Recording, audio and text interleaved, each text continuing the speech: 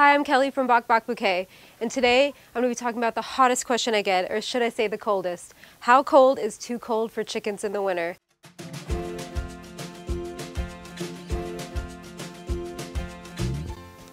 Chickens are cold hardy. How you feel outside is not how they are going to feel. Just remember that. Their internal temperature is anywhere between 105 degrees Fahrenheit and 109 degrees Fahrenheit. Their heart beats 400 times per minute. And it's like they're wearing big down coats all the time. And you'll see when they're on the roost, they cuddle for warmth.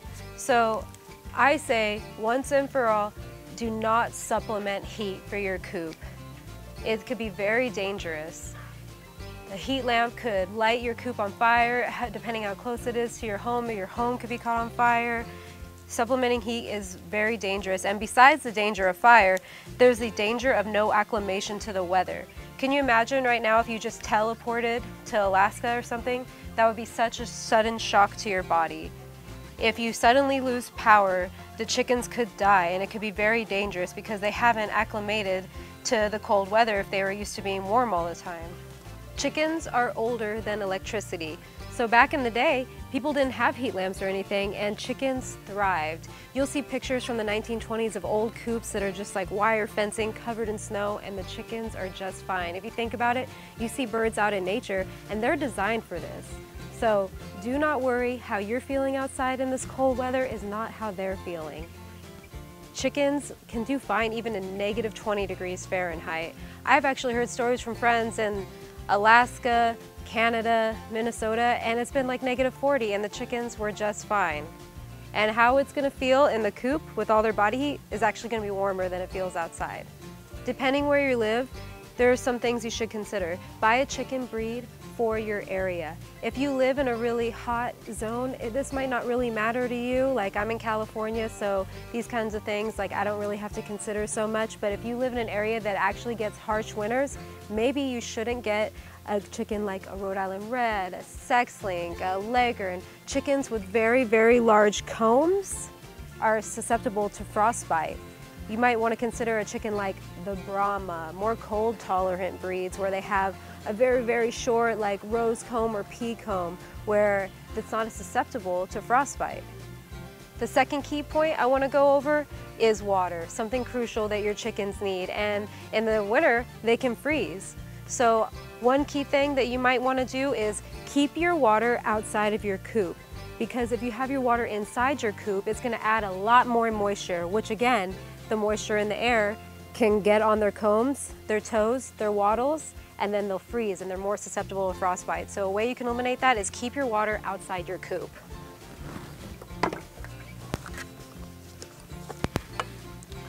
This is a really good water to keep in mind. It's got really thick plastic and it freezes a little slower. A lot of times when you come out here in the morning, just the top layer will be frozen and you can break it up and they can still drink. But if you're in an area where you get a really hard freeze, you might want to change the water every morning because the chickens don't need water at night while they're sleeping. So make sure you go out every morning and change their water. Or heated waters are an option that you could consider. There are some products available to you to help prevent frostbite in the wattles and the combs and the toes. You could use Vaseline, but at many common poultry websites, they'll sell salves that you can administer onto the comb and stuff and help prevent frostbite. But in a second, I'll take you back to the coop and I'll show you some other key points on how you can prevent frostbite.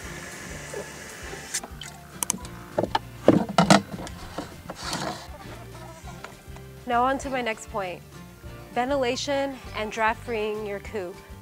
So you want to eliminate all weather and draft in your coop want to make sure that when they're roosting at night, they're not getting blown by the wind or getting hit by the rain. You want to keep them as draft free as possible, but don't, don't, don't forget ventilation. It's so important because when the chicken is breathing at night, they're going to be releasing moisture, which will in turn get on their wattle and comb and could possibly freeze. So you want to keep your ventilation up at the highest points in your chicken coop so that moisture and that heat can be released above where they're roosting so they're not getting hit by any sort of draft.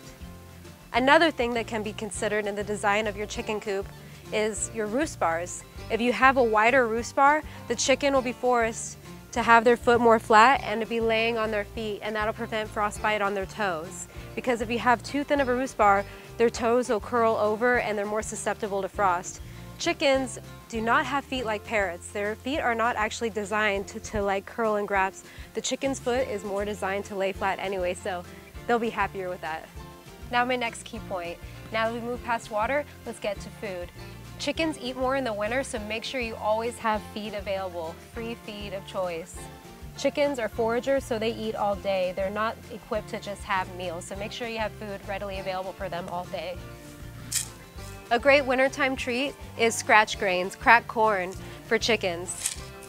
It's a good idea to give it to them before bedtime because it's a carbohydrate that metabolizes slower and they develop heat while they're metabolizing it. So they say it's a good bedtime treat. Keep them warm at night.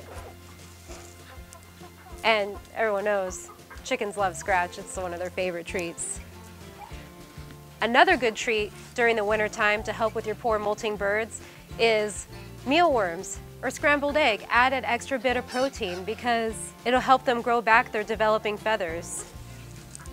And a lot of people live in areas where there's no more greens and grass. Everything's frozen over and there's lots of snow. So a good way to supplement greens is you can sprout your own seeds in your kitchen, grow fodder inside, or give them some leafy vegetables. But make sure you're taking care of your chicken's dietary needs in this crucial time of year. They need all the help they can get to help get through this cold snap. Oh, messy. Now let's talk bedding. Sand is king. Beach sand, construction style sand, it's really the best bedding over shavings, straw, anything you can get to put in your coop. It's good insulating, it's well draining, it doesn't retain moisture, and it keeps things clean. When your chickens are gonna jump into their nest boxes, they're not gonna track poop on their feet, but sand is a great winter option.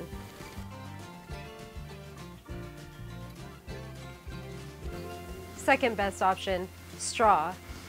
It still holds some moisture, so I don't, I don't think it's a really good option, and I don't personally like how messy it is, but straw can be a good option for you. If you live in an area where you get heavy snowfall and your chickens aren't wanting to free range, don't force them. leave the door open, give them the option if they want, but something that may entice them is lay the straw in the walkway because sometimes chickens don't want to walk on the snow, but they might prefer to walk on this, so that might be a way to entice your chickens to attempt a free range, you know, but don't ever force them, just give them the option. And then let's talk hay. Never use hay. Hay holds moisture and molds very easily. So I want to touch on that. Don't use hay, only straw, but sand is preferred. Why have my chickens stopped laying? Well, chickens naturally slow down in the winter. They lay based off of the sun cycle, so less daylight, less sun, less eggs. But some people will supplement light to their chicken, but just keep this in mind, that just like humans, hens are born with all the eggs they will ever lay, just like women are born with all the eggs they'll ever have. If you force your hens to lay all through the winter, then it could affect their life, how much eggs they will lay in their, their lifespan. They will stop laying earlier in life. So either you give them a break in the winter or they'll stop laying earlier in life. I think that you should just be natural and let them have their break. If you do choose to supplement light for your chickens to continue them laying through the winter, turn on the lights in the morning earlier. Don't keep them up all night with the lights. Turn on the lights earlier in the morning if you are going to do that. I don't personally really agree with that. I think that they deserve the break, but the choice is up to you. You see I have some lights here. These are just lights for us to come in at night. We here are not running an egg business, so it doesn't really matter to us if our chickens slow down in the winter. It's just fine. Besides the sun, another key point of why your chickens have slowed down or maybe stopped laying in the winter is molting. If they're having a late molt and they're still molting now, chickens will not lay when they're molting. All their energy is going to growing new feathers, not laying eggs. Boredom. Boredom busters. So here's a few, we have a few of these laying around our property that we built. They're chicken monkey bars and they love to jump on here and perch. You're gonna wanna have lots of perches, chicken swings, stuff for them to do and jump on because even though chickens can't fly, they are birds, so they like to enjoy all vertical space that's available. So if you make that available, you really will double your space in your coop or run. Another thing we like to do when chickens get bored and, eh, well, we just love to give our chickens these in general, is the chicken pinata. It'll give them lots and lots of entertainment for hours and it's a good way to give them greens like lettuce or cabbage. They will go at it and have a blast. Another thing you want to make sure you have available, especially if you're in an area where you get a lot of heavy snowfall or it gets a lot of rain, is have dust baths available. If you don't have natural areas for chickens to do dust baths, make one available for them. You could use a tote, a tire, a spare pool, anything. Just put some sand, wood ash, just make a dust bath available and that'll keep them busy for hours too. Chickens love their dust baths. The reason you want to keep them their minds going and stuff is you don't want a chicken to get bored because if they're pent up from bad weather like rain or snow, they could start picking on each other or even cannibalize each other. So make sure you keep your chickens busy at all times. You want to keep their minds going. Next, let's talk predators. Predators are more desperate in the winter. So you're gonna wanna take up extra precautions at this time of year. There's less food, it's more scarce, so they're gonna be a little bit more eager to try to make your chickens a meal. A good way to prevent aerial predators is have lots of like places for cover. Have like different things that your chickens can run to. So when the rooster or the dominant hen sounds that alert, they can run and take shelter, go back in their coop. So we like to have lots of different areas for our chickens to hide. Another great way to prevent aerial predators is have a good relationship with your crows and ravens. They will not let a hawk anywhere near this place. Good coverage, a good rooster, and ravens and crows, and that's how you prevent hawk attacks.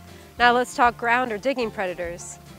Make sure that you lock up your chickens every night and that they are in a predator-proofed coop. That's how you prevent losing chickens at night to predators. Make sure that everybody is in there to sleep at night and make sure that your run and your chicken coop is predator proof so no digging predators can get in.